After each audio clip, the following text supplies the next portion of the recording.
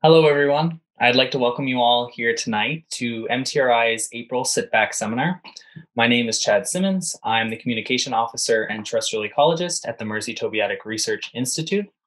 But before we begin, I'd like to acknowledge that we are meeting here today in Kespukwitk, one of seven districts of Mi'kma'ki, homeland to the Mi'kmaq people. And I want to acknowledge the treaties of peace and friendship and thank the Mi'kmaq people for their generosity in sharing their homeland with us. So, for anyone who's unaware, the Mersey Tobeatic Research Institute is a research based nonprofit nestled in southwest Nova Scotia near Kejimkujik National Park and historic site. And our mission is to promote, conserve, and sustain biodiversity in Kespukwitk as well as beyond. Today, I'm very pleased to introduce MTRI's own staff member, Lori Phinney. Uh, Laurie just graduated from the University of Waterloo with her Master's of Science. So next, I'm going to hand it over to Lori, um, but I'd just like to remind everyone to please keep their mics muted. And if you have any questions during the uh, chat, you can just um, type them into the chat and we'll answer them as they come up or at the end. So Lori, with that, if you'd like to begin. Hi, everyone. Just give me a minute to share my presentation.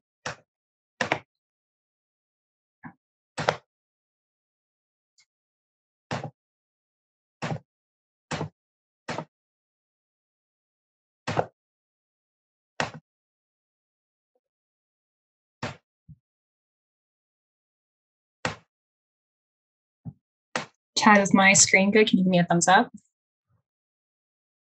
Okay, perfect.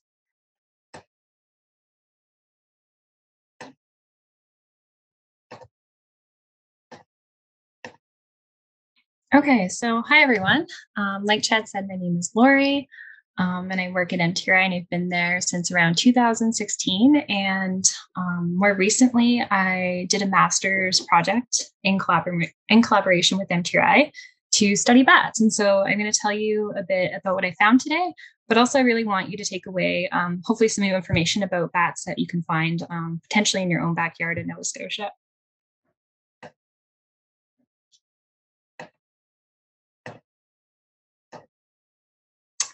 Uh, so let's start off with species of bats in Nova Scotia.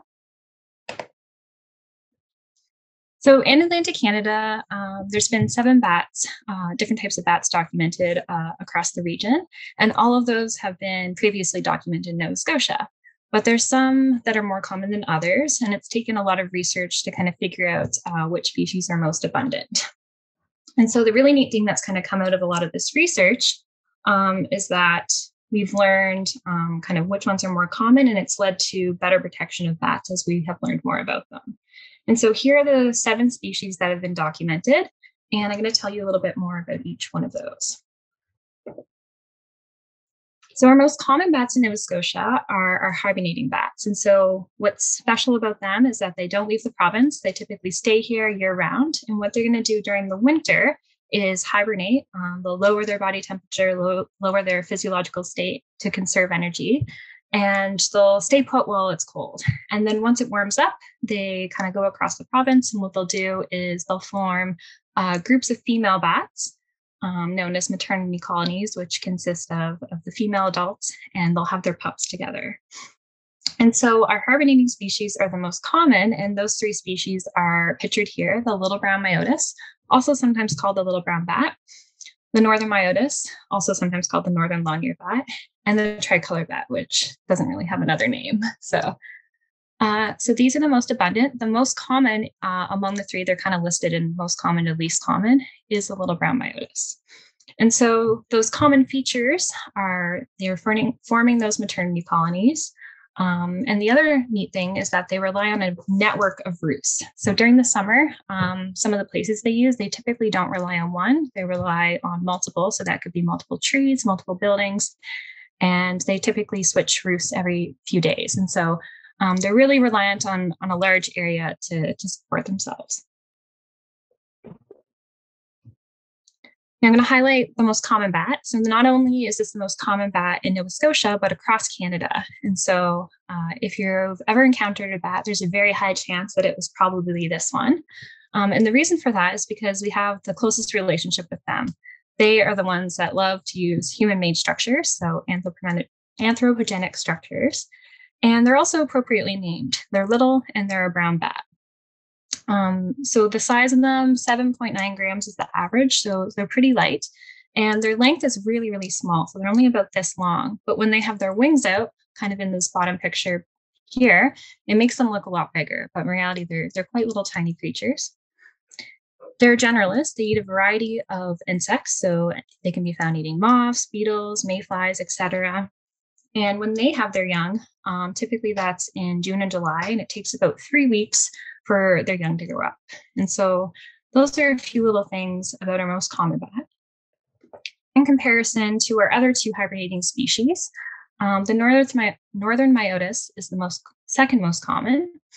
And when you compare those two, they look really similar. It, this one actually looks like a little brown bat as well, basically. I know this photo probably makes it look a little bit more gray than it actually is. Um, but one of the biggest differences is their their ears. They have a lot longer ears, and the tragus, which is this little ear bone. If you look at your ear and you look at the little ear flap here, um, we have it as well.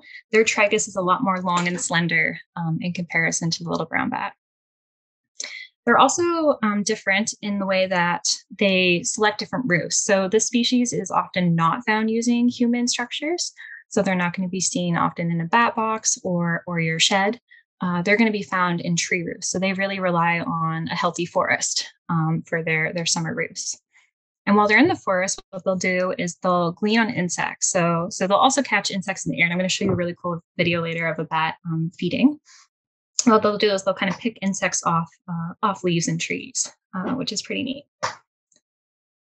Uh, so the third most common bat we have in the province is the tricolor bat. And compared to the past two I just talked about, um, this one also hibernates, is that this one's a lot smaller. But I think that's pretty hard to tell unless you kind of had them all lined up beside each other. And so it's lighter, its wingspan is smaller, and it also has uh, different roosting habits than the other two. Here are some photos on the left. Um, so I have a picture of a tricolor bat roost. The top image is of a spruce tree and um, a lichen that we often called old man's beard. The genus name is Usnea. And so, what this bat specializes in is roosting in groups, sometimes up to 18 individuals, and a clump of lichen on a tree, which is pretty unique. This is actually so unique that it doesn't even do this in other parts of its range. So, in the States, um, we see this bat use other things such as leaves, moss, etc. So, very unique overall and very uh, you, uh, makes them kind of special, I guess. Um, there's another image below, kind of a black and white image showing uh, the bats kind of clumped together because it's really hard to tell from far away. So, so bats that roost in, in natural stu- structures are a lot harder to detect than um, in human-made structures because we're often more closer to those in our homes. It's easier for us to encounter them, and, and bats can roost quite high up in trees, which makes them harder to detect. One more fact about these bats is that they're mainly restricted to the southwestern part of Nova Scotia. And so there's very few uh, sightings or documentations of them outside of southwest Nova Scotia. And here's um, the estimated range of them um, in this part of the province. Now I'm going to get to the bats that we don't see most often. And some differences between these bats and the last group of bats I talked about is some of them are more colorful. They're also a lot bigger, and we have very few sightings of them. Um, so there's no significant populations, and those um, that are migratory are the hoary bat, the silver-haired bat, and the eastern red bat. And so those species, what they do is they only are here uh, when it's warm. So once it turns cold, they tend to go to kind of the southern United States, sometimes Mexico, and spend the winter there. And so these species are different in how they spend their time here. Um, they also don't really breed here. We only have very few records. The first record of silver haired bats breeding in Atlantic Canada was actually last summer in 2020 in New Brunswick. Uh, you might be able to find a recent article in the news about that. Uh, we have one breeding record of the red bat in Nova Scotia in County. I think it was in like 2001.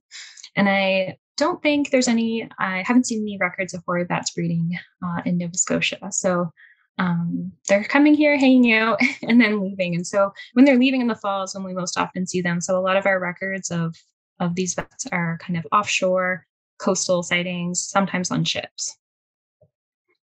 The last bat I'm going to talk about is the ring brown bat, the one that we most least often see. Um, we see a few more in New Brunswick compared to Nova Scotia. And uh, this bat, I would compare it to be more similar to the other brown bats I talked about, the hibernating species. So this one hibernates. Um, one thing I didn't mention about the migratory species is they're more solitary, so they are more often alone. Like when they have their, pup, their pups, they more often don't form maternity colonies of female bats. Um, and they they like to roost in trees, so they're more often in trees than in buildings. And so with the big brown bat, uh, they're more similar to the other hibernating species than these migratory ones, but again, not very common. So then I've kind of told you about which ones are more common or not. Let's put some numbers to uh, those bats. So bat populations are really hard to study. Um, one of the biggest reasons is that they're active at night. Uh, they're quite elusive and they emit sounds outside of our hearing range, which I'm really going to talk a lot about today.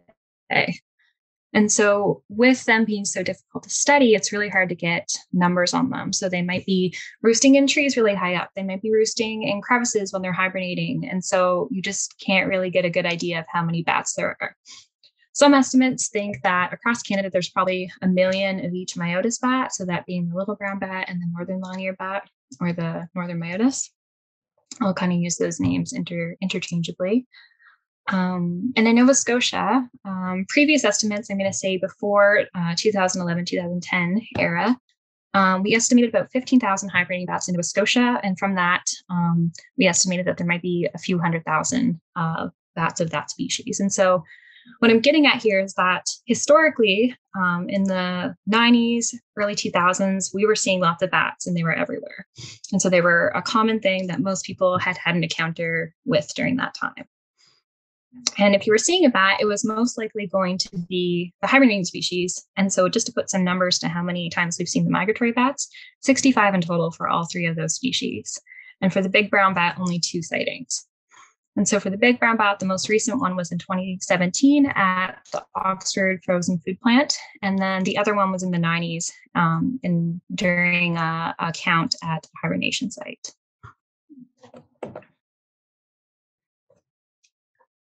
Um, so I'm I'm kind of showing you some photos and some illustrations here, eh, but I want to keep in mind that theme of, of bats being hard to study, and this is really going to show you that. So most of your encounters um, are probably going to be brief with bats. So they're out flying at night. They're very elusive. They're very fast, and this is what a bat sighting probably will look like. Um, so the image here on the, the left, um, kind of between the two buildings, looks like there's probably a bat flying there, and same on the right.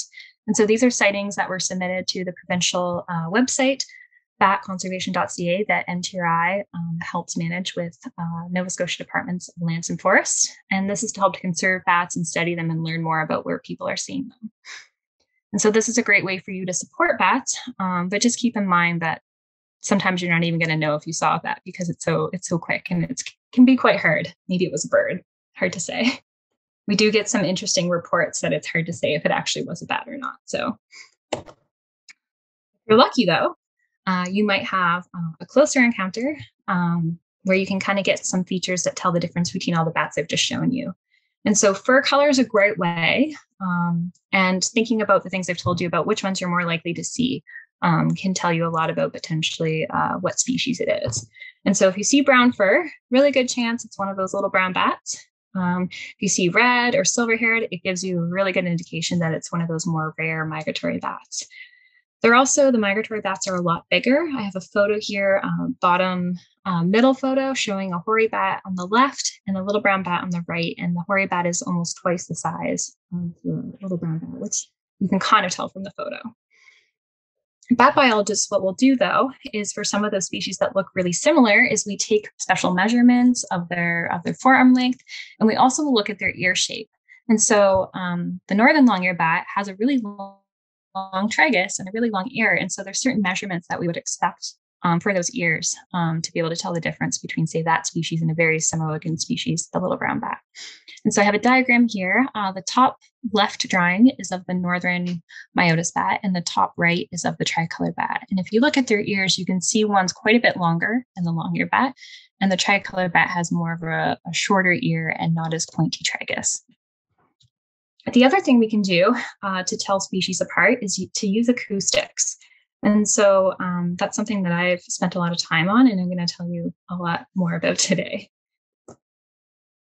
before we get into that, um, we uh, have a few techniques that we uh, rely on to study bats. And so, if you think of things that you've heard about different researchers, um, sometimes we catch wildlife, sometimes we just visually observe them. And so, we combine techniques to get a full picture of how bats are doing. And so, some of that can look like roost count. So, looking inside a spot where bats are roosting, whether it's your shed or your attic. Um, here, pictured on the left, is a bat box and a bunch of Myotis bats roosting inside.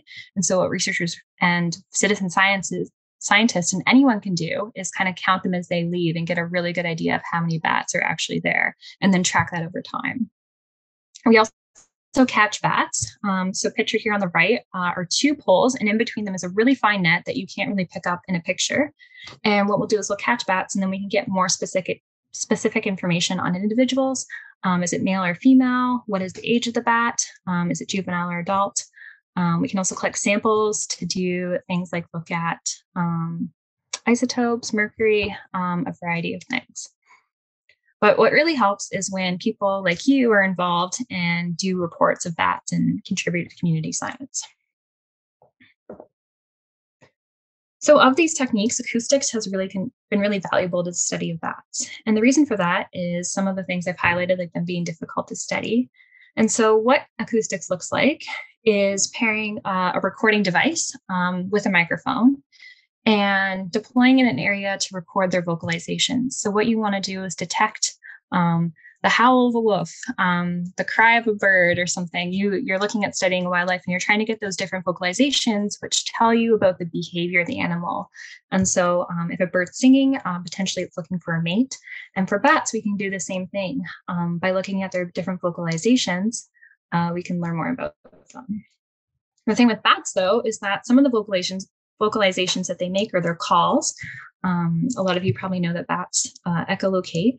Is that some of those we can't hear with our ears, and so we really rely on acoustics to detect those. So whereas other wildlife we can hear it with our ears, their their vocalizations are in our hearing range. These devices really help us pick up those sounds. And so, what an acoustic device can look like are these two pictures. So, here on the left at the top um, is one that you can buy yourself. Uh, it's pretty expensive, it's a few hundred dollars um, at Wildlife Acoustics. And so, it's an attachment to your phone. Um, and then, when a bat's flying around in the evening, um, this device can pick that up. And then it gives you a guess as to what type of bat is flying around for you. I'm going to show you though um, what different bat voices look like actually though. So we'll get to that soon. The device below is called an Audiomoth and it's a lot more affordable. Um, it's under $100 uh, for anyone to purchase. And so this device, um, you can't get a live um, identification of the bat from the device, but you can look at the recordings later on that that you pick up um, and kind of figure out potentially what bats are, are in your area. And so these are these are publicly available to uh, for people to use. So why can't we hear all bat vocalizations? Well, our hearing range is highlighted here in the orange from 20 hertz to 20 uh, kilohertz.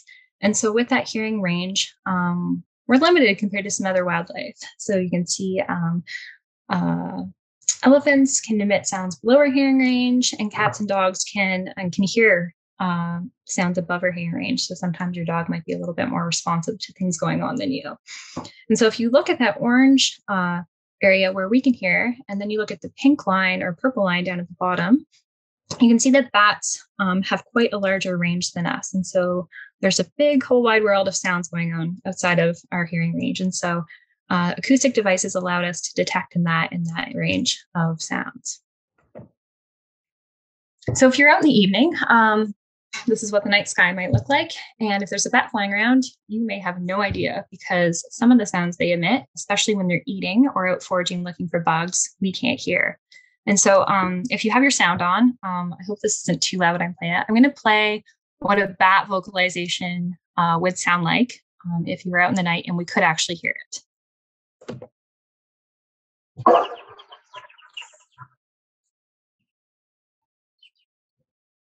Okay, so um, kind of sounds chirpy, I would describe it as. And um, although we wouldn't be able to hear that in person um, because it's ultrasonic above our hearing range, um, it's chirpy, it's frequent, they emit a lot of sounds um, in a short period of time, and that's them echolocating so they can navigate their environment. Um, they want to know if there's a tree in front of them, is there other bats around competing for, for moss? Um, is there a moth to the right that they can go and catch? And so what they'll do is they'll emit sounds more frequently um, as they approach objects, and that gives them a finer detail resolution of what's going on around them. So next I'm going to show you if we could see a bat flying out at night. It's hard because we can't see very well in the dark. We can't hear them. Um, this is something what that may look like. This video also has sound. This one is not as abrupt as the last one though. So really cool video, right? You can see clearly that this bat is having a successful foraging night. It's out catching what looks like to be moss and using its tail pouch um, to actually catch the insects. So they will use their mouths, they will use their wings, they'll kind of maneuver around. And the sound that they're making is to be able to find those insects and see them using their echolocations. So really neat. Um, now, some of you are probably wondering um, when we used to see more bats, which I'll get into why we don't see as many eventually. Um, you've probably maybe even heard about before, and you're probably saying, like, Laura, you're not telling the truth. I've heard about before. And the reason you have is because they do make some audible sounds. And those more often you're going to encounter when a bat is, say, inside your inside your shed or inside a bat box. And so um, I have it I have a video here of um, a friend of mine who's uh, done bat research as well, um, handling one. We were trying to track its movements. And so the sounds that I'm going to play you are some sounds that we can hear without um, kind of converting the noise using an acoustic monitor.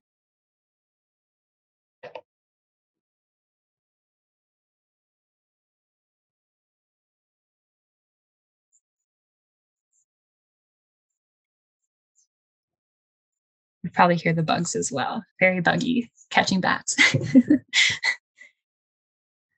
if you want to know where the bugs are, go where bats are. So, um, so yeah, that sounds like a bunch of clicks, right? So that sound I just played you was completely audible, just recording with my phone.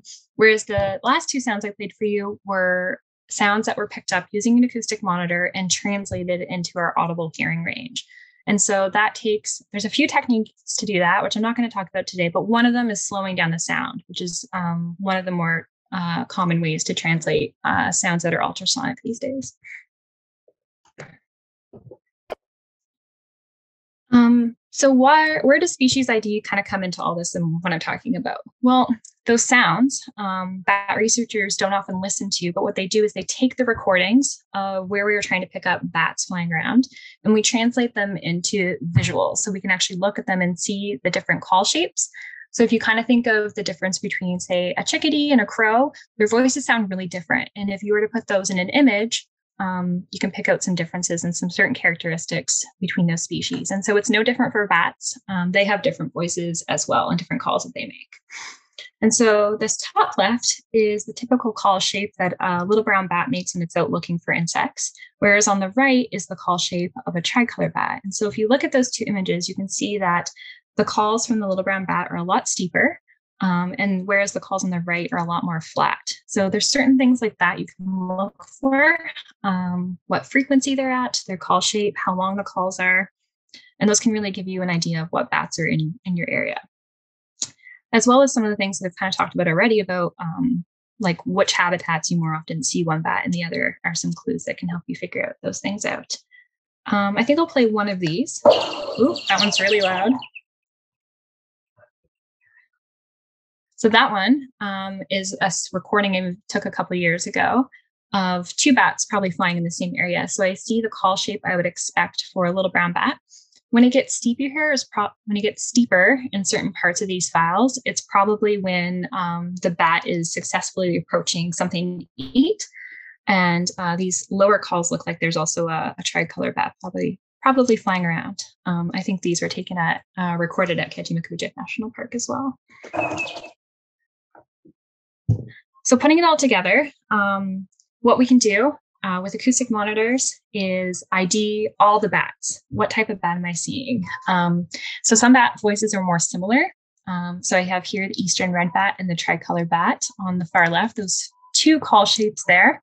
Um, they're a little bit more similar, so sometimes it's hard to tell. Um, the little brown bat and the northern long-eared bat are C and D image in here.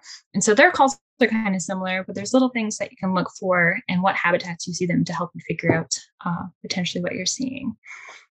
Um, so one thing I want to point out, uh, so I kind of have all the sh- call shapes that you'd expect for each species and kind of a picture by them. Um, but the time frame down here is 10 milliseconds.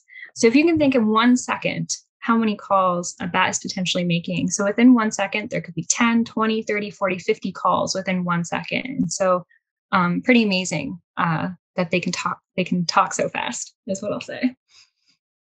There's also uh, the hoary bat sometimes emit sounds that kind of drop down into our hearing range. Um, I've talked to someone who said that they've heard a hoary bat before, and so that is that is also possible.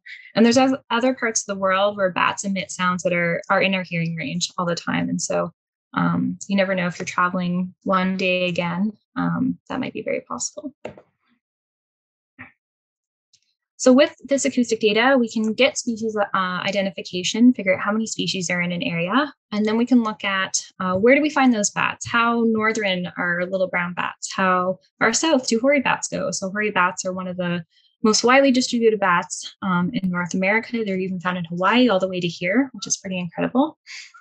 And um, another thing we can look at is population trends, which is something that I've studied and I did as part of my master's, and I'm going to um, give you a little insight to today. And so what I do with that is I look at the recordings I pick up between different time periods. And what I'll do is I'll compare the recordings I get between those time periods and see if there's more or less, um, look at different species and get a better idea about um, our bats. Are we picking up a lot of bats or not a lot of bats um, over time? So now I'm going to kind of dive into how I used acoustics to study population trends of bats in Nova Scotia. Uh, so here I have a map um, there's a bunch of black dots in here, and these are sites um, I studied as part of a long term monitoring project to understand how bats are doing in Nova Scotia. And so my goal was to assess uh, trends over time, and I relied on a baseline data set and resampled um, that data set again in uh, several years later. And so there was 90 sites acoustically sampled in 2005 and 2006 during the summers.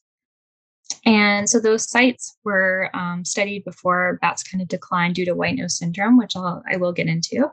Um, a lot of you are probably familiar uh, with that word, and hopefully I tell you something new about it today. Um, so there was 90 sites sampled in 2005 and 2006 across Southwest Nova Scotia, and those sites were were sampled for about six to nine nights. And so what I did with that baseline data, data set is I repeated the whole study um, in 2018 and 2019 to look at how many recordings and detections of each bat I was getting uh, several years later to see um, had bat activity increased or decreased, and then and then estimate um, how bat populations are doing. And so this was a partnership uh, for my master's between uh, the Mersey Tobeatic Research Institute, uh, the University of Waterloo, where I was supervised by Dr. Hugh Broders, which uh, used to work at St. Mary's University uh, in Halifax for many years, and Parks Canada, specifically uh, National Park. So what does sampling look like for acoustics? So we take uh, those recorders and those microphones and we put them out in the habitat of the animal we're interested in. And for bats, they love to forage over water, and that's because there's typically a lot of insects near there. And so the baseline sampling was done by uh, Leslie Farrow, who was doing um, that sampling as part of her actual master's project. So it was kind of neat to, to redo that as a master's project myself. And so uh, the recorder that she used is called the Anabat 2. So acoustic monitors that are used to study bats are often called bat detectors. And so this specific model is from a company and they, they called the unit the Anabat 2. And you can see the microphone is that black little circle in the front. You can see some buttons on it. And this device wasn't waterproof at the time. This is one of the early, early acoustic devices for bats. Um, it was placed in a tub on these wooden platforms over forested rivers. And those sites were um, the ones you saw on the map on the last slide. And so those were placed there between June and August. Um, 90 sites, uh, half of them were sampled in 2005, half of them were sampled in 2006 because there were so many sites and they were so widely distributed across um, that part of the province. And they were set up to record at night um, for bat activity. And so then what I did is I repeated all of that. Um, on the same nights, I sampled again in 2018 and 2019. So the same six nights that were sampled in 2005, I sampled in 2018 um, at the same sites. Though I couldn't actually use the same acoustic monitors. So that's the biggest difference between uh, the baseline data and what I did was that those yellow acoustic monitors here are not on the market anymore. There are some newer versions, um, but that device has kind of been phased out. And so acoustic technology is quickly evolving and changing. And so the, the popular on the market when I did my study was the Wildlife um, Acoustics Songmeter SM4 full spectrum bat recorder, um, very long name. But this green device here uh, is what I deployed on poles um, in 2018 and 2019 at those same sites. And what did I find? Well, um, between my two data sets, I took all those recordings, I converted them into those nice images that I showed you before, and I ID'd all the species that we detected in all the recordings. And there was a lot of files. There was a lot of work to visit all those sites, and it ended up with a lot of data at the end. Um, if you look at the total number of files at the bottom here, there was a lot of data to look at. And so I had some pretty long days, um, both during the data collection and then looking at all of it after. And what I found was we detected both species, or we detected all six species except um, big brown bats in both data sets. But the thing I didn't expect, or I had an idea about, but I didn't know how much it would affect my, my research, was that I actually detected more bats um, and more bat activity in 2018 and 2019 of some of these species. And so that's not really what I expected because bats are being threatened by a few different things, such as habitat loss, white nose syndrome, et cetera. And so I went back to the literature and tried to find out if anyone had done this before, where they uh, compared data um, collected by different um, acoustic monitors, as you saw, like the yellow one and the green one. And what I found in the literature is that um, people had acknowledged, other researchers had acknowledged that there are differences between these devices, but how large the difference, um, I didn't really know how much that would impact my study. So what I did is I, at the end of 2019, I went and put out the, the yellow device, the Anabat, and the song meter, the green bat detector, side by side to see if they would record the same number of bats um, if I put them out side by side for a few nights. And what I found was that the older device from 2005 and 2006 detected about less than 5% of the calls of this green device. And so that was uh, shocking that it was that big of a difference. So um, it's always good to keep in mind that your projects may not go as planned and then to kind of account for how you're going to deal with that. And so there was some figuring out for me to do um, exactly how to account for this difference between the technology because I really wanted to assess bat population trends, but with this variation um, due to the differences in the equipment, um, I wasn't sure how I was going to do that. And so what I figured out was that um, this hadn't really been done in a real life scenario yet, um, was to develop a correction factor. So look at the difference between them and then correct the data set for equipment variation. And I was able to do that for only two species, unfortunately. Um, but that's because when I did um, this test here, where I put out my equipment side by side, I only detected those two species. So the other ones I couldn't even couldn't even look at because I couldn't account for the equipment variation. And so taking those number of recordings that I looked at, um, in this third column here, I corrected the number of detections for equipment variation. And how I got the correction factor, um, if people have questions about it, feel free to ask, but I'm not going to get into the specifics of it because it's a little bit boring. But the really take home message is that when I looked at the number of detections between the baseline data set in 2005 and 2006 to compare to what I found and detected in 2018 and 2019, was that bats are doing really poorly. There's a huge decline still in little brown myotis, 95% decline in activity that I picked up, and then also for the tricolor bat, a decline of 91%. And so, why exactly did this happen? Um, well, if you've heard over the past few years, um, you've probably heard of the disease white nose syndrome. And so, between these two time periods um, is when white nose syndrome arrived in Nova Scotia and kind of was spreading across North America quite rapidly. So, I have an image here on the left of uh, myotis bats with this fuzzy stuff on their face, and that's how um, that's a really good indicator that this bat has white nose syndrome. And here on the right are images of dead bats at the bottom of the cave. And so um, it was really startling because back in, in 2005, 6, 7, um, um, not millions at the time, but hundreds of thousands of bats were found dead um, throughout those few years. Uh, and that quickly spread to Nova Scotia. So that fungus is caused by, or that disease is caused by a fungus known as white nose known as Pseudogymnoascus destructans. And here I have three pictures of each of our hibernating species. The left hand one being little brown myotis, the top one being uh, the northern myotis, and the bottom one being the tricolored bat. And so you can kind of see how it grows on them. Um, it also grows on their wings and any bare skin. And it's really easily transferred between bats because they're so social. So if you've ever seen, um, I might have some pictures in here of just how bats really congregate in these large groups. So it just jumps from bat to bat really quickly. And also the fungus can thrive in caves even when there is um, when there are no bats. So um, it loves those cold environments that bats hibernate in, like caves and mines. And so even when the bats aren't there, it can it can stick around. And so the fungus isn't native uh, to North America, so it is an invasive species. And what it's doing to our bats here is it's causing them to be sick. They get lesions on their wings. It compromises their physiological state. And so they basically keep waking up trying to fight off this fungus. Um, but they're in a really vulnerable state because they basically lowered their body temperature to be really low and their immune system is suppressed um, because they're trying to conserve energy. And so the fungus is basically just fighting um, fighting with them to to kind of combat um, uh, their survival. And so bats wake up more frequently and end up dying because they can't access food resources um, as they use up their their energy to kind of fight off this disease. And so bats during the winter are often found dead um, from this fungus because they can't they can't find any insects or, or regain back their their energy reserves. So some data on Nova Scotia. Um, so the fungus came here in 2011, quickly spread up through North America. I'll show you a map soon of that spread. And um, we had been monitoring uh, some of the caves. And so here I have a table of some of the bigger hibernation sites in Nova Scotia. And in the blue circle is just the declines that we saw once the fungus got to uh, the province. And so when we averaged all that, within two years, 93% of the bats declined um, at those five major overwintering sites in the province. And this was also observed in Ontario, and New Brunswick, and Quebec. And so it's not a trend unique to here, but um, just startling that bats can die off so quickly in a short period of time and that high of uh, mortalities. And so, because this was so dramatic, um, it led to the emergency listing of our three hibernating species because we basically weren't seeing them anymore.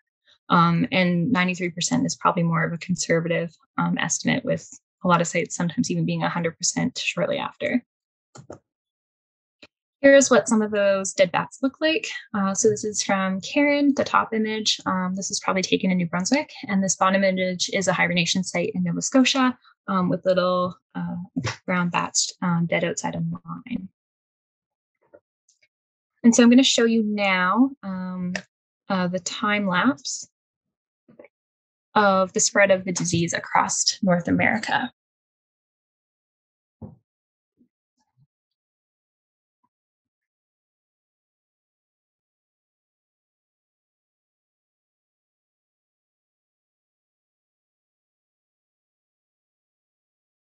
So just keep, that's probably just going to keep playing through now. And so you can just see how quickly that's happened. Um, so you can just see how much contact bats have with each other. Um, we potentially contributed to that by um, some people cave, some people go and explore them and help spread that. And so just a really quick time frame for this to happen. And so by 2012, we estimated that over 6 million bats died and millions have probably died since then. And um, in the States, uh, one species was listed as well. And so um, really startling what this, what has happened. So kind of jumping back, uh, so I kind of shortly talked about my results and then just put into context with white nose syndrome and the most likely reason for why why bats are so low right now and populations remain low. Um, one thing I didn't capture in my in my research project though was northern myotis. The biggest reason for that is because they're not well suited to acoustics. Um, their voices um, are really quiet. They're actually called a whispering bat. So we actually have shouting bats and whispering bats, which is funny to think about because we can't even hear those sounds. But um, for a whispering bat, that basically means that their voice is not going to travel very far. And the reason they don't need to travel their voices to travel far is because they forage in a forest. So when there's trees close by, you don't need your voice to travel very far the trees are going to be close to you. Whereas if you forage out in the open water, like a tricolor bat or a little brown bat, you need your voice to go really far to pick up on what's going on. And so this bat just doesn't get picked up well by acoustics. So they tend to be underrepresented um, in acoustic studies. And so, with some colleagues of mine, um, and Karen Vanderwolf and Lynn Burns, we tried to compile capture rates of this species to get a better idea of how they're doing because capturing them just seems to be a better technique for surveying. And what we found, um, which I'm not going to go into too many details about, was that relative to little brown myotis, we think that northern myotis is more severely impacted by white nose syndrome, which is really interesting because we have a history in the province of grouping uh, little brown myotis and northern myotis together. And the biggest reason for that is because those features make them look so similar. So when they're on the side of a cave and you're doing a hibernaculum survey, they look like the same type of bat. And so often we group them together. And early on, when we first found out about this disease, we assumed they were being affected the same. And so now research in the States and this work, this project that we've put together um, to look at how they're doing is showing that this bat is um, more severely impacted by the disease and that we probably need special uh, surveys and monitoring and management techniques for them.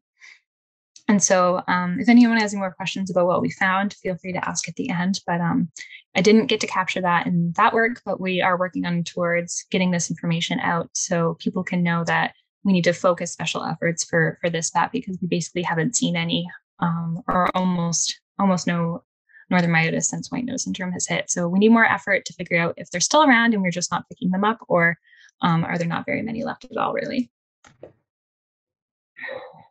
So with my work, um, you can kind of see that uh, from the wintering surveys early on when white nose syndrome came, it was about 93% decline, which is similar to what I found in 2018 and 2019. And so what's unique about my study? Well, here's a map of the year um, each county uh, white nose syndrome was documented. And so I surveyed in this blue circle here. And so I kind of captured information in some areas where we don't have hibernation sites. And so we had no idea how bats were doing in that area of the province. And so that's really important. And it also confirmed the information on the specific areas we studied for hibernation sites. And so this green circle here uh, represents the area where we were doing hibernation surveys. And um, we can see that those numbers kind of align. So bats that are breeding during the summer are responding in the same way to bats that we know of, because um, think of those bats at those hibernation sites, those probably only represent a proportion of the population. There's probably many hibernation sites we don't know about. And so this can kind of capture information on how bats are doing away from those sites and potentially bats that don't hibernate at those sites. And so the big takeaway is that bats are still doing very poorly. Um, the the fun, fungus is still having a severe impact on, on the population health, and that recovery is going to take a long time. So bats only have one pup per year. And so every bat that you see um, is quite significant to the population um, because we need to get our numbers up as much as possible. some unique things I found through my study because I kind of, um, yes, we know bats are not doing bad for white syndrome, and I kind of confirmed that again. Was that um, I found that Kejimkujik National Park was the area kind of of the highest bat activity. And so that might tell us um, a little bit about how important protected areas are, and that mimicking habitats like that, that are natural and not compromised, are potentially really important to some of our species at risk, and maybe preventing some other species from going at risk as well. Um, the other thing that I found that had not been really studied yet was how tricolor bats are responding to white nose syndrome. And so some of the assumptions about how uh, tricolor bats were responding to the disease were based on those myotis bats. So we actually didn't have an estimate for tricolor bats at overwintering sites in the province. And that's because they're really hard to see in overwintering sites. They tend to hibernate by themselves, so not in groups, and in crevices in deep parts of, of mines and caves. And so they're a lot harder to get estimates for as well as we don't typically have as many of, of those individuals. Uh, so although I found this, um, that there was low numbers, um, we still detected little brown bats and tricolor bats across the province, even though in low numbers. So I'm going to show you some uh, maps of the activity levels. So here are three maps. I'll just highlight what's what's neat about them. The first one is little brown bats. So the bigger the circle, the more detections in that area that I picked up of that species. And so um, little brown myotis are still detected across a good portion of the province, um, lower numbers than potentially we could have seen before, but um, still across the landscape. Uh, for tricolor bats, um, I showed you the range map um, that we had uh, way in some slides before. Um, so we're still getting them across southwest Nova Scotia, but seems to be more concentrated in this area. And then for hoary bat, this is just kind of a neat thing. Um, so I looked at the literature before and found that the average number of detections we would get of migratory bats was usually around 0.4% of all calls. And what I found was I got around 11%. So that was a lot higher. And I was like, why is that? And I realized that it was biased by this one site where there was like a thousand hoary bat calls here. So who knows what's going on there? It could have been one bat, it could have been 10 bats. Maybe um, a bat decided to hang, hang out there for the summer, or maybe there's even breeding going on. I have no idea, but it's um, definitely interesting to think about um, and provides new insight into potentially how migratory bats are spending their time here. So now what? Um, millions of dollars have been spent actually on trying to help bats. It's um it's taken a lot of time and a lot of research. I went to the North American Bat Society uh, research meeting um, in 2019, and it was really neat because there was a room full of like 400 bat researchers together. And so I didn't even know that there was that many bat researchers in North America. And so there's a lot of people dedicated towards figuring out how we can conserve bats. And so a lot of those reasons are they they save us in millions, even billions of dollars um, for for crops, um, for tree pests, et cetera. And so they're really important ecologically, um, as well as a lot of people just appreciate them. And so some of the solutions to combat white nose syndrome have been vaccines, uh, altering their habitat. So how can we kind of spray? it? Can we spray something on the fungus, kill off the fungus in caves? Um, can we give them heated bat boxes? Uh, currently, there is no actual solution for for combating this, and, and people, uh, researchers have kind of tested various things, but we haven't said, okay, this is what we're going to do to combat white nose syndrome. And so, it's probably going to take a variety of techniques.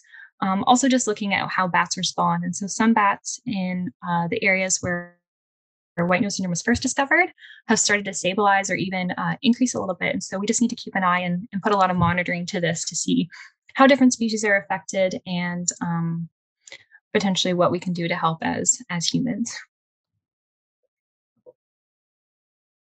In the context, though, of white nose syndrome, I'm not going to talk too much about this, but just thinking about um, other wildlife diseases and how we're what's going on with, with us right now. Um, I know restrictions have increased um, this week, and so um, I thank everyone for being here tonight. I'm going to get into how we can help conserve bats, but just keep in mind that other wildlife are experiencing these um, diseases and they're relying on us to develop vaccines and do all these things and figure out how we can move through the world and prevent the spread of, of new diseases into new areas. So I've given you some tips kind of early on how to look for bats. Um, I'm going to highlight some ones that maybe I didn't point out. The biggest one I haven't talked about yet is poop. So bat poop is called guano. Um, sometimes guano is used for birds as well. And I have a really nice image here. Right below the bat box is a whole pile of guano. Um, and this is of a bat roost um, in uh, Annapolis County um, that's persisting through white nose syndrome. And so the highest count in this bat box, I think, was uh, 96 or around 100 bats. And so um, by putting up a bat box, it's really easy to monitor them because you can uh, look underneath and see if there's any guano. Sometimes uh, brushing off the old guano or putting something light helps you kind of pick up um, if there are bats there. Um, I also find that bat boxes are a lot easier to monitor than, say, uh, the eaves or the attic of your house because it's a concentrated area where they're going to come. They're going to enter and exit. Uh, so keep that in mind if you're if you're looking for bats. At this make make it a little bit easier to monitor for them. But of course, they're not necessarily going to use a bat box if you put it up. Uh, just visually looking for bats is another thing, and just being outside when bats are active. So bats are active at night. So if you've never seen a bat um, and you haven't been outside at night, that may that may be why. But Nova Scotians are seeing bats. So I've kind of given you a sad story about how numbers are really low. Um, but we've been working with landowners, and all, maybe even some of you on the call today have reported um, seeing bats across the province. And so here are some of those sightings. These are from within the last year. And so um, I'm optimistic that there are bats around and that people are concerned about protecting them so that we can kind of bring populations back. And so each individual bat is, is really important. Um, the bottom sighting here uh, from Rick uh, was just in March. Um, this bat was kind of warming up in the sun. There's a bat here on a patio umbrella. Um, there's bat roost, bats roosting on the sides of buildings. And so uh, we get some really neat reports of, of bats across the province just to summarize what kind of sightings we get, uh, most of the time evening outdoors, which I've emphasized, And most of the reports we get are where there's concentrations of people. So, not that there's more bats in, say, Halifax or Kings County, um, but there's more people to see bats. And so, um, this map, map may more so represent that.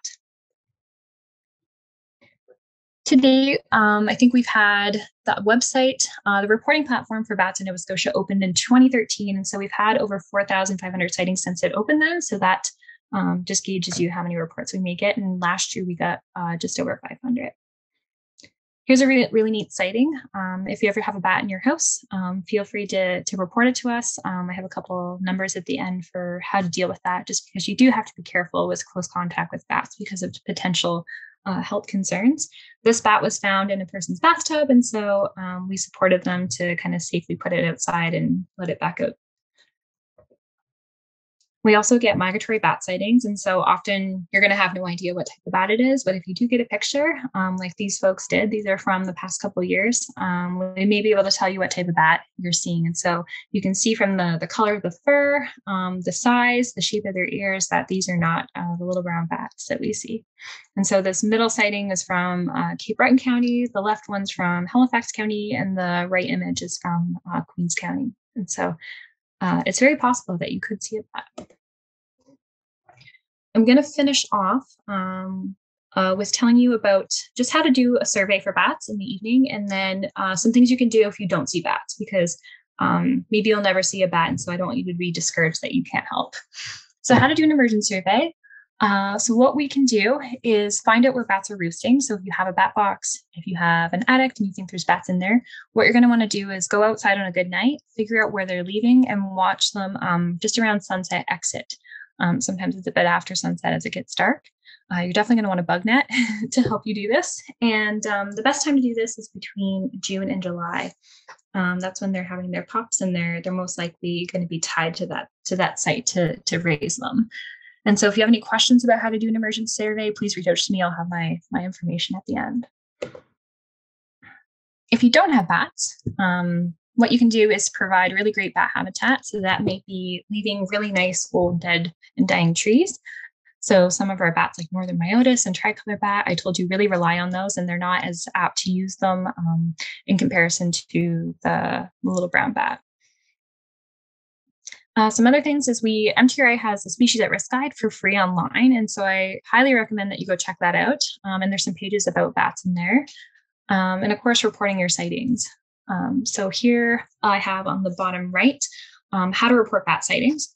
We work really closely with uh, the Canadian Wildlife Health Cooperative, which has put together an Atlantic Canada Bat Hotline since we kind of developed our website and our phone number. And so uh, we partner together to collect sightings for the whole region. And so if you have a sighting outside Nova Scotia, um, their phone number is great to call. They're also um, there to help you if you have bats in your in your building that you don't want there, or if you had direct contact with the bat and you're concerned about uh, rabies, um, etc.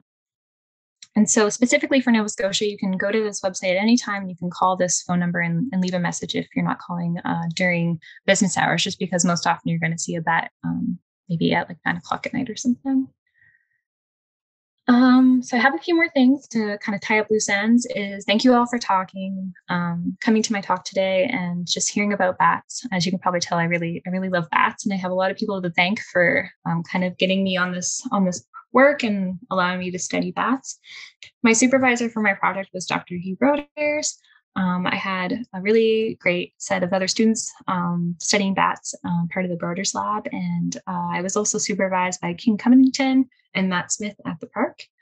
Uh, I have a lot of people at work to thank. Um, there's too many to mention all their names, um, but I also have a lot of great funders Parks Canada, Mitacs, um, provincial and federal government, um, and some others. And so I'm going to finish off with, before we get to questions, with if you want a bat box, there's a new project out, the Annapolis Valley Bat Box Project, which are actually building bat boxes that you can get. Um, there's also plans online. I encourage you to go check them out and see if you could build one yourself. Um, potentially a great project to do when you're stuck at home. And uh, if you do have a bat box, even if you don't have bats, you don't need bats at all. There's a study ongoing right now to understand um, what features of bat boxes bats prefer. Um, so there's a few different designs out there. And so if you do have a bat box, I really encourage you to, to get involved in this and think about potentially one of the ways that you can help bats, whether it's looking at the species at risk guide, um, putting up a bat box or one of the things I've mentioned. So anyway, I think that's that's all I have for now. If people have any questions. Perfect. Thank you, Lori. Um, if anyone wants to ask Lori a question directly, you can turn off your or turn on your mic, or you can type it into the chat window.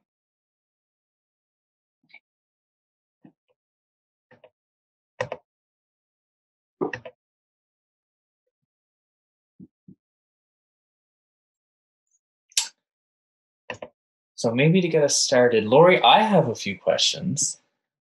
Okay. Um, anyone who watches our seminars knows that I ask a lot of questions. Uh, so um, it was really cool and interesting how we could visualize and see the different types of bat calls and um, how they lined up with the different species. Um, and I was kind of curious as to why they all have different calls. Is it because they're um, eating different insects or hunting for different things? Yeah, definitely. So, yeah, if you think about um, some of the features I kind of pointed about, like what habitats they're in, so they've probably really evolved those different call shapes um, to be unique to the environment that they're in and kind of be well adapted to picking up what they're what they're feeding on in that environment, but also so that they're not competing for for sound space with other bats, right? So when I look at my recordings, I actually can see sometimes they'll shift their voice a little bit higher or a little bit lower if there's another bat around. And so um, it allows them to kind of zero in and get that information they need to, to see their environment. And so um, with the migratory species, their voices tend to be quite loud. Uh, they fly a lot higher um, and they fly a lot faster. And so uh, features about their size probably also play play a big role in that too. Very cool. Um, so Sarah asks, is there certain types of wood you have to make your bat box with? Oh, um, so they don't recommend treated wood, and that's because of the smell. Um, they think it will uh, make bat bats not bats not interested there. Um, but they do recommend that you paint it. Um, if you guys want, I can actually send some links into some recommendations for bat boxes, or you guys can just look them up um, on the Canadian Wildlife Federation and Canadian Con- or Bat Conservation International site. But um, definitely not treated wood is best. Um, just so that they, they have a good sense of smell actually. So I think everyone would like if you shared the links in the chat. Okay. Sounds good. Um, and then Amanda asks, is there any way to check for bats in an area acoustically um, on her own with uh, less um, professional equipment? Mm. Good question. So the definitely the cheapest device I would say right now is the Audio Moth. But I think that acoustics is something hopefully to, in the future for bats it can become a little bit more accessible just because it is a lot um, to learn. I think I had a big learning curve when when I was kind of starting out learning about about studying bats. Um, if you have any questions, I could help you maybe, but I think the Audiomoth is probably the cheapest device, but it does take a certain level of expertise. And so um, I think probably a bat box is a little bit more uh, friendly to, to someone without that expertise actually and monitoring that. So another question is, is a bat rocket similar to a bat house? Um, so this person works at a wildlife park and they just received a few of the bat rockets and they want to make um, and they're not sure what they are. Okay yeah i'm pretty i think i i think i know what you mean. Um so there's a design of bat box called the rocket box and so what's special about those is i always describe it this way is that they better mimic a tree and so there's actually roosting space kind of all around Whereas uh, more traditional bat boxes and some of the pictures I showed you are really flat boxes. So they're they have like a few slots inside. And so these boxes are really great because they um, provide more space for them to move around as the sun kind of changes throughout the day. So if they're in a spot that's too hot, they can potentially find another side of the bat box and kind of cool down, um, which is really important with pups because uh, for about three weeks they can't fly and they're they're solely dependent on the the female adult bats. And so um, that's great. If you if you have those and those are a great option. And hopefully through that kind of study i have here on the slides um, we can learn more about how important those bat boxes are just because in some warmer climates it's shown that those um, when you don't have those those roosting space options um, it can be detrimental to uh, to young bats. Uh, Sarah's wondering if you can buy the uh, bat rockets. Good question. I'm I don't know the answer to that. Um, there's definitely plans online and there may be a website. Um, be careful though, because sometimes they're really expensive and it would be so much cheaper to build them or to find someone uh, you know who can build them. I was talking to someone on the phone, I think like two weeks ago, and they said they found one online for like a hundred dollars, which is quite a bit of money. Um, I think Canadian Tire sells the flat the flat boxes um, online. I don't know if they're in store, but um, I'll have to look into that. I don't have I don't have an answer for you. If anyone else knows if you can buy a rocket box online somewhere um, that's not super expensive, please let us know.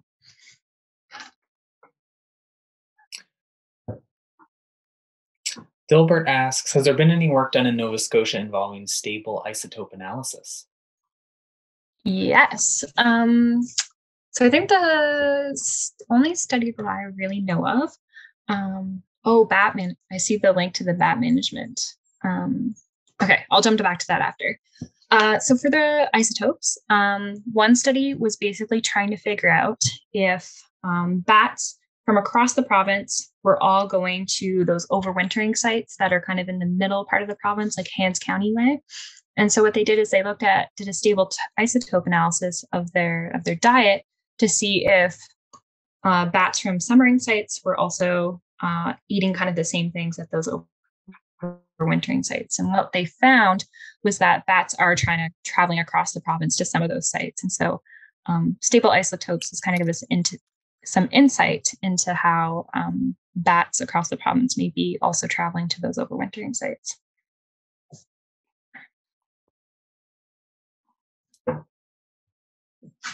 So Sarah is. Um, I see the the uh, rocket box um, link there. Um, I think bat management uh, is a good site actually. I think they have a variety of plans. I think they even have plans that you have to pay for for like a giant bat condo, like a big bat house. So.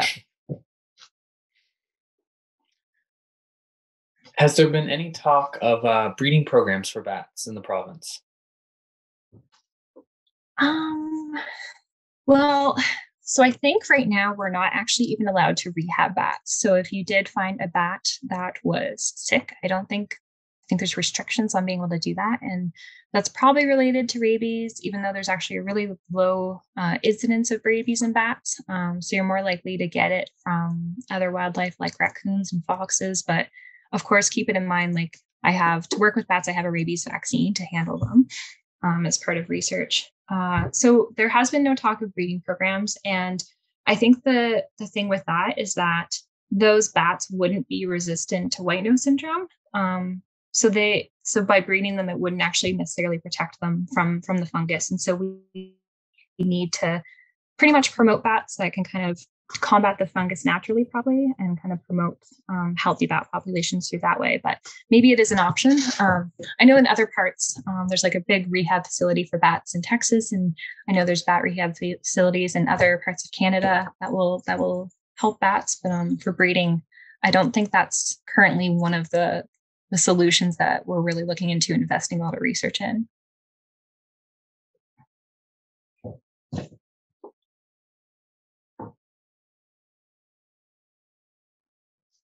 Good questions.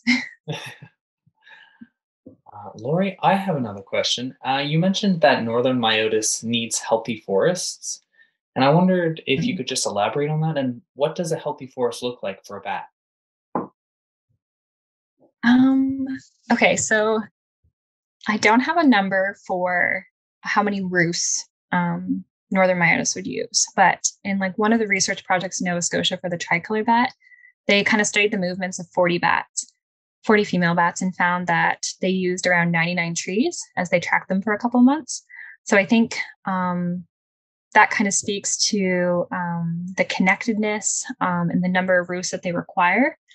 And so they use a variety of different trees, northern myotis, um, deciduous trees like um, maple trees, etc. They can use a variety of trees and um, they like to be in like older stages of decay kind of mid stages of decay so not not fresh young trees and really large trees as well. And so i think a healthy forest for them looks like offering some of those um, some of those stages where the trees are getting older um, and there's lots of lots of those trees so that they can kind of find the right spot um, because they use a network of roosts and not just one. And so the other thing is that uh, for bats they tend to use the same roost uh, year to year and so a healthy forest probably looks like uh, retaining some of those some of those trees long term so that they can rely on those roosts.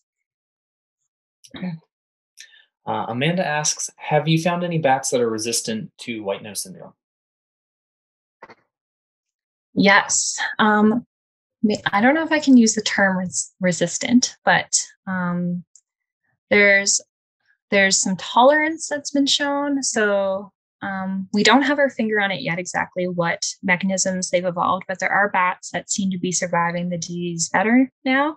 And so that might be due to an immune response. And we just basically need more research on like what those mechanisms are.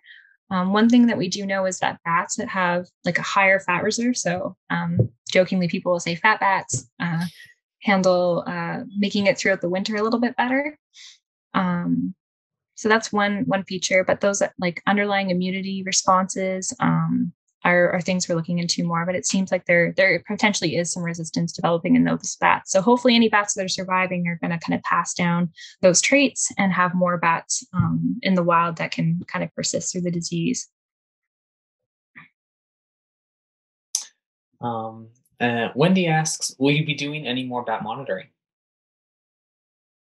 Uh acoustics was a lot of work. It tired me out. um, yes, so we're we're doing it was a lot of work.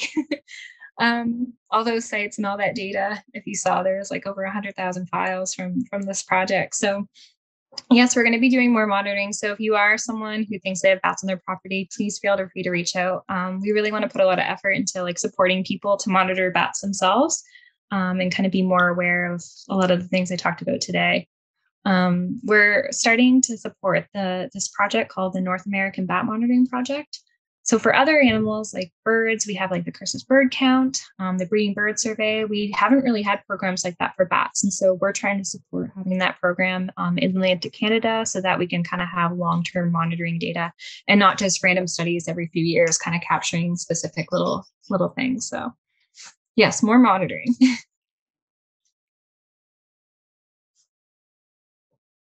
Um, and Lindsay asks, why would you want to paint a bat box? Uh, so bats like it where it's warm, especially for their pups. So it's more uh, conducive for them to to get pregnant and give birth. Um, and warm environments are better for the pups as well. Um, I guess maybe that might be confusing because I said don't do treated wood, and then I said paint the bat box. So just paint the bat box on the outside. So I understand why that's probably like, why would you do that? Um, so they recommend in Canada because we have colder climates that having that dark box, sometimes they're brown, sometimes they're black, um, really attracts the sunlight and helps warm up the box. Um, so I think we we do need more information on that. So that study is really important to have as many people participate as possible to get a gauge on like is that really important for us to keep doing that um, kind of in Nova Scotia. But yeah, I understand your question now. um, Janice asks, "Where's the best location to put a bat box?" Uh, so the higher up, the better, and on buildings. So some people try to put them on trees, but it's actually better to put them on buildings. Um, and as high as you can um, is is better for them, so that they're not close to the ground. Uh, sometimes there's certain predators that bats may have, or like raccoons, cats, um, owls. Uh, so putting it up high um, there is some stuff about putting on certain sides of the building, but it actually seems like sometimes bats don't necessarily follow um, those recommendations. Bats kind of do what they want. And so um, putting it in a spot where it gets lots of the sunlight, um, close to water and high are probably the top three things I would recommend for, for bat boxes. Uh, Ryan asks, for counties where the fungus is native, um, how do bats deal with it? Or do they not hibernate? For counties where the fungus is native. Oh, okay. So like in spots where bats have evolved with the fungus. Is that maybe the question? I think that's what. yeah. Means. Okay. So that, yeah, I think um, no bats in North America have kind of evolved with the fungus, but in Europe, Um, and China, they in Asia, they found um, the fungus there, and that uh, those bats have kind of co-evolved with it, so they actually don't die off and get sick like what we see here. So, so that fungus came here, and bats just didn't know how to cope with it because they they haven't evolved the mechanisms for it. And so, um, it seems like one paper I read uh, speculated that um, one of the big differences between bat colonies in Europe versus here is that we see them in much larger numbers here. And we think that maybe potentially because we see colonies of bats in, in Europe not as high is maybe because they've evolved with that fungus, it's kind of kept bat numbers low. So maybe something we could see here in the future is bats rebound, but we just don't see them in, in large groups as we used to. If that doesn't answer your question, let me know. If you have more specific questions about here, like the map where we didn't have the fungus identified, let me know.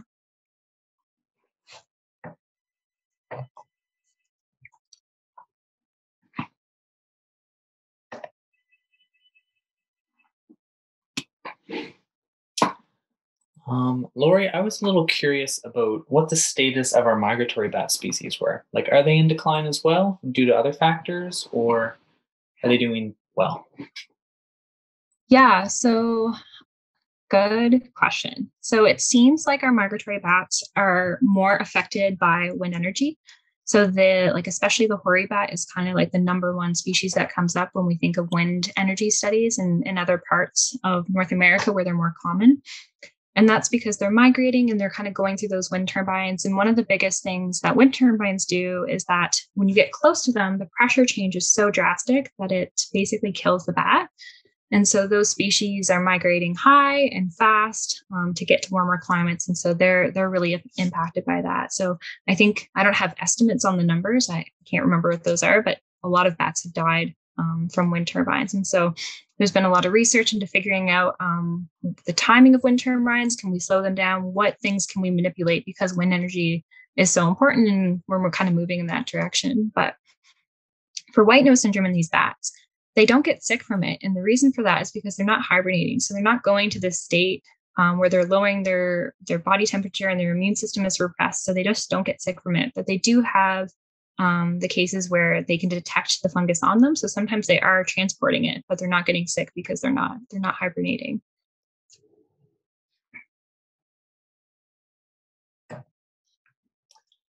Do researchers have an idea about how climate change climate change might uh, be impacting bat species? Mm-hmm.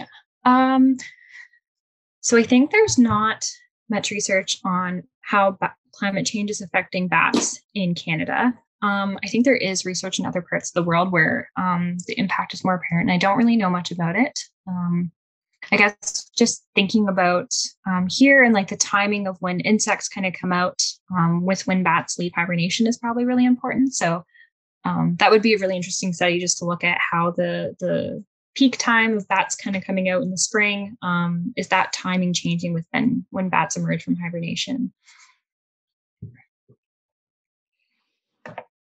okay i'm just getting the last link um, I realized I just sent the other one to you, so thanks for sending it to everyone. Here's um now we have both links in the chat. Um, I just tried to quickly do them while I was chatting with you guys. Um, for uh, the Canadian Wildlife Federation, they even have like a checklist of what to do for your bat box, which is really great. And then um, they have kind of the more flat chamber bat boxes, which aren't bad. Um, if you're really enthusiastic, I recommend actually putting up a flat box and a rocket box um, if you have lots of time on your hands. Um, but the rocket box can be found at the, the second link that we have in the in the chat.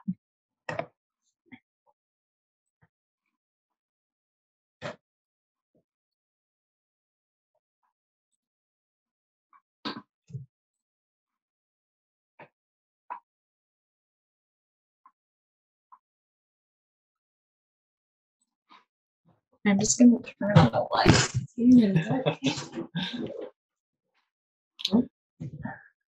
I have my computer plugged in there, so I can't. Um, is there any more questions?